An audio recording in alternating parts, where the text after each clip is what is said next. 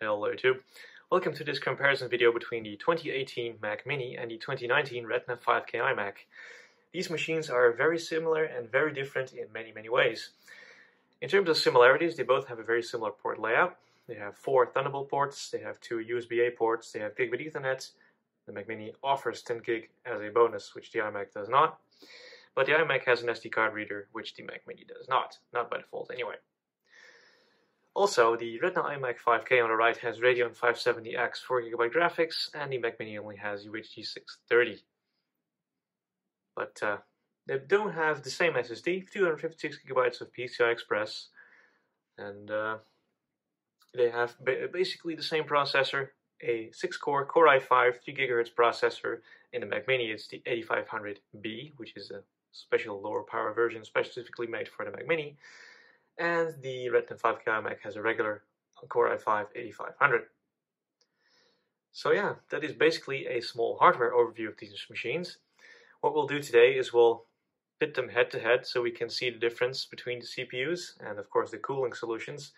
Obviously the Mac Mini is probably going to throttle because it is a very small enclosure and the iMac has way more space to vent its air. And obviously the iMac is probably going to win graphically, but still I promised to make this video somewhere early uh, this year or late last year. So it is well overdue, I suppose. So, uh, you know, let's just get right to it and uh, start with a Geekbench run. Hold on to your horses. Ready, set, go.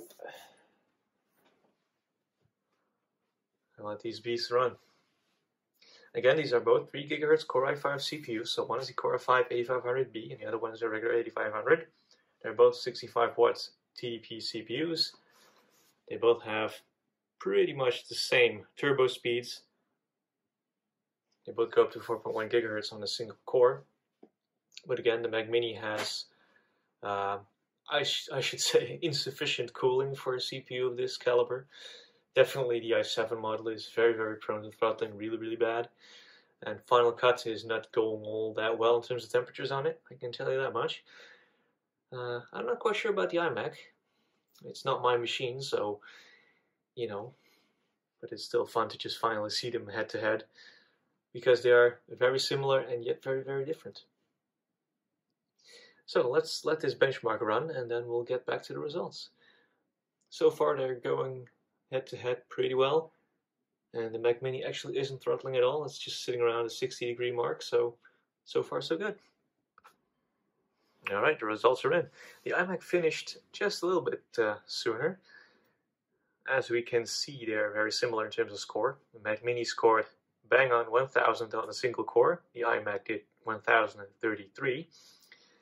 The Mac Mini scored just under 5000 multi-core. And the iMac scored just over 5000.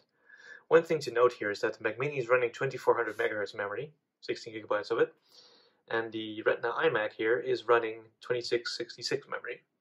There might be just a little bit of difference uh, in there, but it's probably not all that much. But it could explain the difference here in terms of CPU. I did not see the Mac Mini throttle at all. The highest I've seen one core hit was 92 degrees. I always monitor my Mac Mini closely with uh, max fan speed. And uh, I haven't seen it hit 100 degrees at all, so it should be okay. So yeah, that's basically Geekbench out of the way. Let's take another look at uh, Blackmagic disk speed test. I'll set it up on the iMac here, and on Mac Mini as well. Let's see where I have it.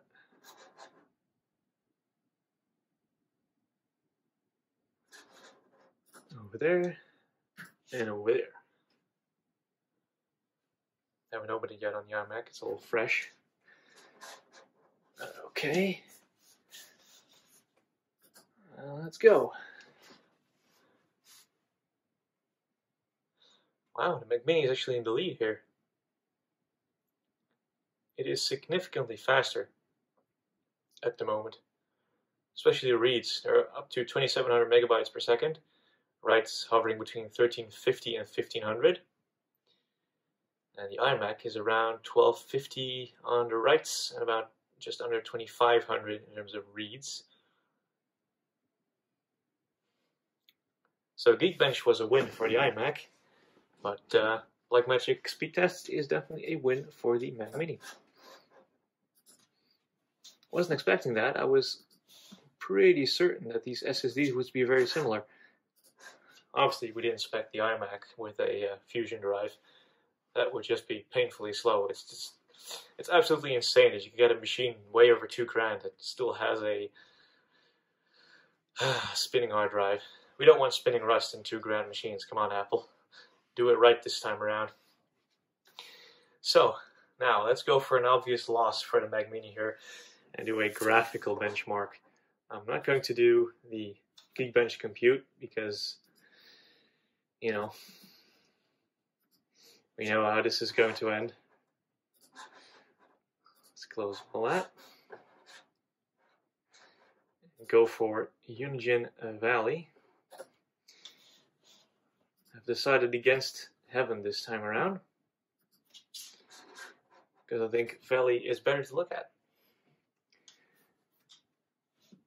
It is literally the only reason. We'll both go for the same settings. We'll go for extreme. Let's see, where should we go? Now we should go custom so you can get everything set up. It's of course running OpenGL. We'll go for high quality to at least give it one small chance. We'll disable anti-aliasing. And we'll go for 1080p resolution. We'll do the same on the iMac. Custom preset. High detail, no AA. At 1920 by 1080. Alright. We'll both make them go full screen. Obviously it'll look worse on the Retina display because it is obviously a bit... Uh, oh, that's loud actually.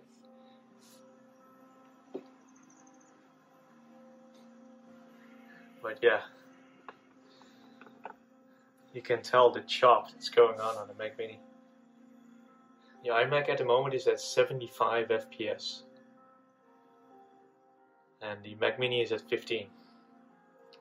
So yeah, we'll start the benchmark mode and just let it run for a bit.